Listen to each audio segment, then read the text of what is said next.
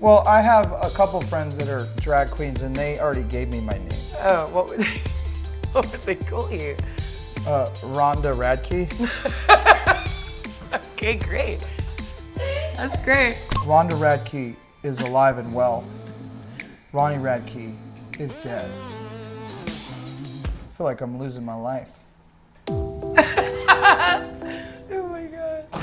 All right. Let's go.